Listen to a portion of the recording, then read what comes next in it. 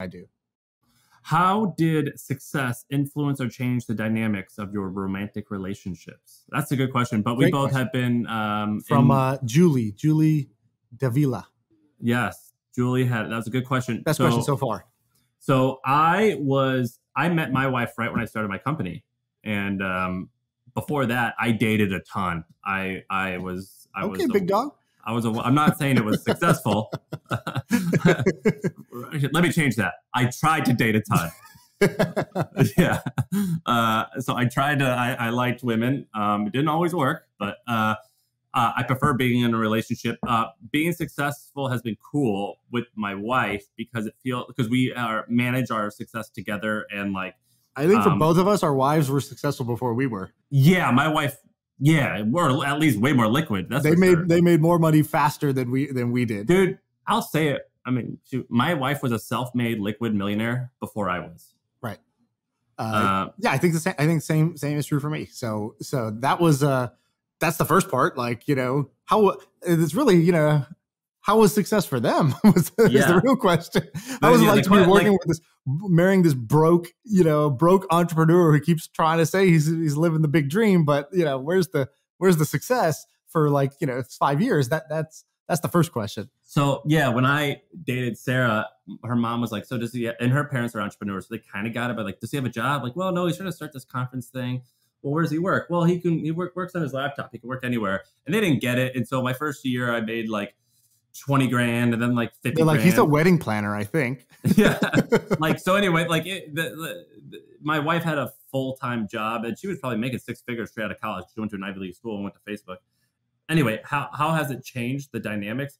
It's made it, my opinion, way better. I do, do you got, we do all of our finances together. we meet I- once a week and we go everything. Do you do the when I started da- when I started dating my wife, she um she had just bought her first house. She was driving a BMW M3 Sport. I was living under my parents' house in a like they had like an in, uh, un, unpermitted in-law unit that I lived in with my my best friend from high school lived in there with me, and uh, you know that's where that's where I was. Didn't have a car, didn't have a house. Uh, I had a job. I had a good job, I guess, but um, but yeah, that's that's how we were when we met. And then, you know, great. What does he do? He's the CEO of a startup. Okay. So, you know, he's virtually virtually unemployed, you know, like on the brink of unemployment, essentially was the was the situation. do since you then- wish? I'll say one thing, which is as you know, as good things started to happen, so got got promoted from like a product manager to CEO of like the company, and then from CEO to like you know investing and then selling the company and all that stuff. There was definitely a period where I got a little cocky, um, where not intentionally, but I look back now and I'm like, "Ah, I was kind of kind of being a dick. I sort of thought all these people I hang out with that are like you know super successful i felt like they they didn't have to deal with any of the bullshit at home that i was dealing with. It's like okay yeah i got to take out the trash. You know does my investor take out the trash? I don't know. Maybe he's got somebody takes out the trash for him right? Like oh i have to you know wake up at like right now i wake up in the morning at 7 o'clock and from 7 to 10 a.m uh, you know i'm on daddy duty taking care of the baby. And i was sort of like don't are we supposed to have like nannies for this? I, I was like very uh, spoiled in that sense and i thought well no i'm the like successful working guy right? So like i don't have to do these like normal things and so that was my like entitlement to myself. And then i realized two things. One is uh yeah those guys do that too. That's you know a lot of the people that i was talking about that i admire they did all that too. They just didn't complain about it like a little bitch. And then the second thing was that they um that like who cares? Like do whatever uh do whatever works for you and your family and like stop being stop holding your time as more valuable than my wife's time or that my kids time or eh, my dog's time or anybody else. I, I used to Is- kind of Your dog's time. I, is- used to think my time was the most precious and now i don't. Now i'm sort of like you know it's our time. We got to use it how we want. Do you I, I think it's cool we're both married. I think it's cool to have this like team mentality. You know when my wife and i so i i we're both catholic and even though we don't practice or anything i was like we have to get married in a catholic church it was important to me and what that means is you got to go meet with the priest and he was like so why are you getting married and, and, we were like well we have similar values in life we have the same goals we just we both want to take over everything we um want to have children and raise them in a particular type of way we want to share our assets and pull together. And he's like, whoa, whoa, whoa, whoa, whoa. What about love? You guys love Yeah. each other? And we're like, Oh yeah, yeah, yeah, that too.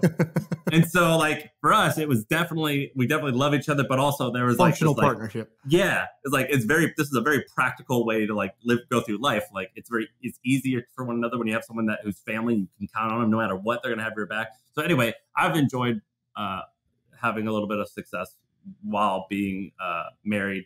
If you're single, I guess the pros could be like you could just like fool around with people way out of your league.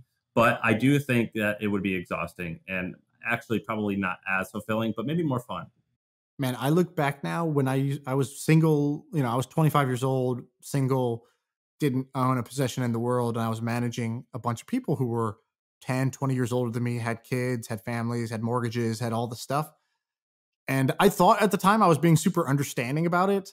And now when I look back, I'm like, oh my God, I was such a idiot. Like I just didn't understand how how hard it is for these people to give this much to a startup um, when they have all these responsibilities and obligations at home.